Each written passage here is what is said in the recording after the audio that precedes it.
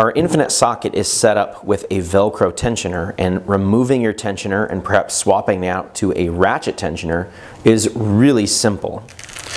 What you'll need to do is just open this thing up and unfeed it through the D-rings and you'll notice that it's got this attachment that sits in the lateral paddle. You've got one on this side and after you feed the D-ring through this loop, you've got another on this side, okay?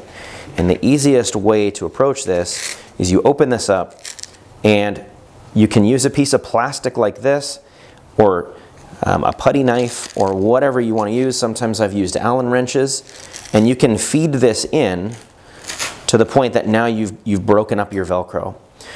What you want to avoid is really pulling this open because what you can do is start to pop these stitches, um, in which case then you're, you're going to need a new brim. Um, but nevertheless, once you've got it open, you've got this portion of the tensioner out, and then we're going to just repeat over here on this side. And it's a little bit tight, so we're probably going to have to work it over a bit. Boom. Now it's free, okay? So what we've got is we've got our Velcro tensioner out of the way, and now we've exposed our Velcro so that we can add in our ratchet strap. We've designed the infinite socket so it's really easy to switch between your tensioner styles. We've got this low profile Velcro tensioner. We also have um, our micro tensioner is what we call it. It's a ski buckle ratchet type design with a ladder strap. This is really great because you can generate a lot of force in through your tensioner and get a fine-tuned fit to your socket.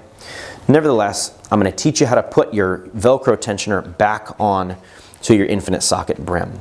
And here's how you want to do it. You're going to want to find the side that has the D-ring and you're going to want to loop it through our lateral paddle keep here, and we're gonna find our posterior D-ring. You're gonna flip it open and slide right through, okay?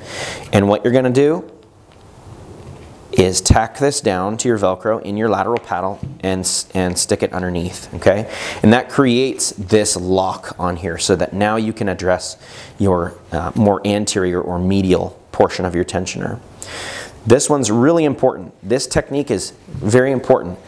Rather than flipping this up and going through this direction, you're going to go around the other way. In other words, you're going to go in this direction. That's really critical. Okay? What it does is it prevents you from binding here. Okay? So what you're going to do is find your desired tension level and then tuck the rest of your Velcro strap in and attach it to all the Velcro that's sewn in the inside of your paddle, okay? And once you have it set up, your tension is squared away and now your tensioner is properly installed. Making adjustments to your tensioner is designed to be really easy.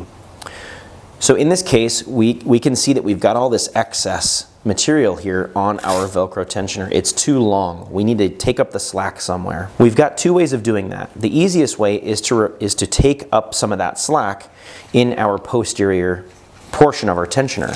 So all we'd do is we'd open this up, we'd pull this over, okay? And you'll notice that we will need to re remove all of this slack in here. To do that, we're gonna open up our Velcro, and we're going to re-tension this guy down. In this case, we would feed this all the way up into our lateral paddle that far. If need be, we could take a pair of scissors and we can shorten this portion of our strap. But what that's going to do is allow us so that now our tensioner is set up with the appropriate amount of, of coverage with our Velcro. It's very important to make sure that you get your tensioner uh, tensions correct so that your slack is out of the system and that you have this set up appropriately. And you'll learn quickly as you go through your fitting training, um, that's a really critical skill to learn.